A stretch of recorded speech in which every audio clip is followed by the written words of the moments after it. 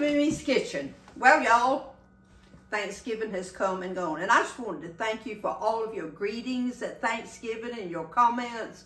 Oh, y'all, we had a wonderful day. And, and I could tell by your comments that you enjoyed your family too.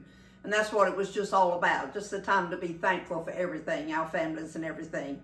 So, Thanksgiving is behind us, and you know what that means. That means Christmas will just roll in here before we know it.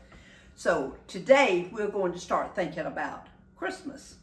Now, when I was thinking about what I was going to do for my video today, you know, my oven and my stove got a workout last week because I had Sunday lunch, then turned right around and had Thanksgiving and I made cakes for several people. So, y'all, this thing here really got a workout.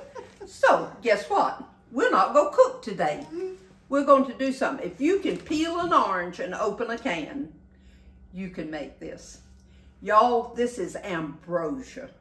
And it brings back memories to so many people. I mean, I remember ambrosia just about as long as I can as I can remember actually, because it's something we always had. And it always was at Christmas time. So I'm sure that you have that memory too because um, it's just, it, it was just made with just the ingredients you had at home. So y'all, now, not that you need a recipe for it, but it is in the cookbook, Sunday Lunch at MeMe's, and turn to page 64.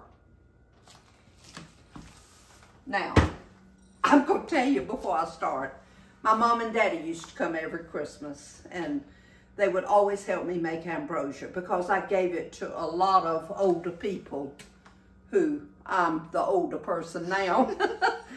We're talking 30 years ago, y'all. And they would come, and my daddy would always bring his own knife.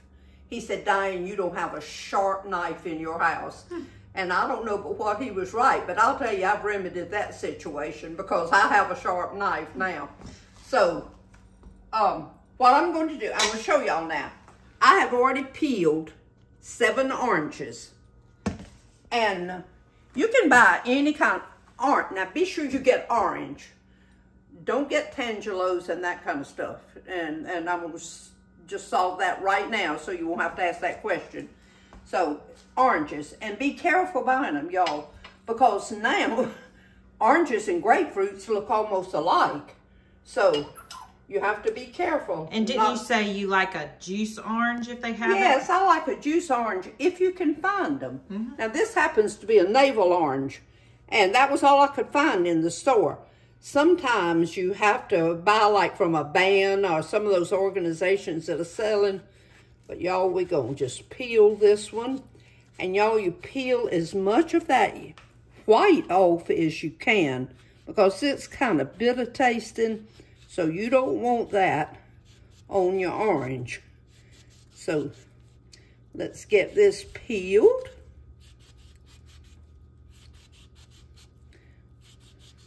See how sharp my knife is? My daddy would be so proud. Hmm. he would love it. He'd say, oh, Lord, Diane, you did it.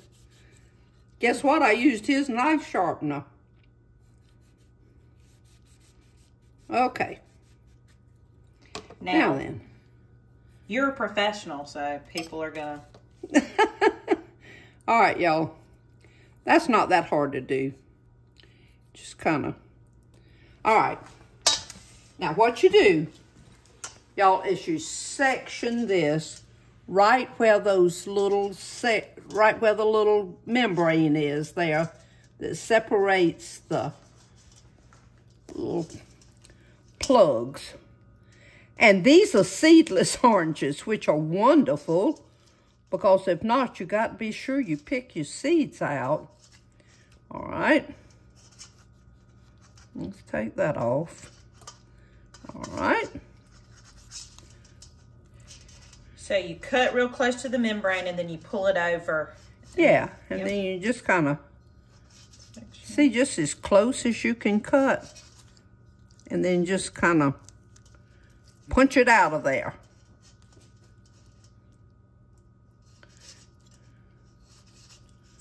Y'all, I still give some of my friends this for Christmas. You know, there's certain people you just can't buy stuff for. All right, now we squeeze that as much as you can squeeze it because you want as much of that juice as possible. Okay, KK, let me dry my hands and we'll be right back. Okay, now y'all, this is something you can make as much of as you want to or as little as you want to.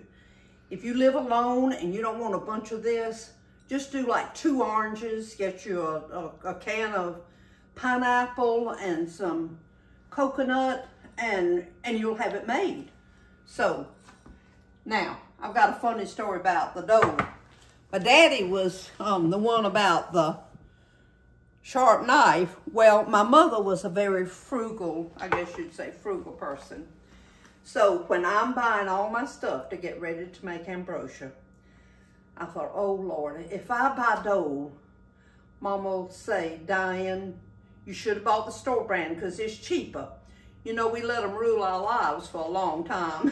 so anyway, so I went to the store and it was about 20 cents a can cheaper to get the, the store brand. So I bought the store brand because we were making a lot of ambrosia.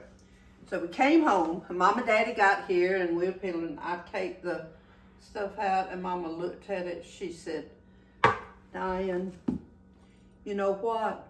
For just a few cents more, you could have gotten Dole, and it's much better.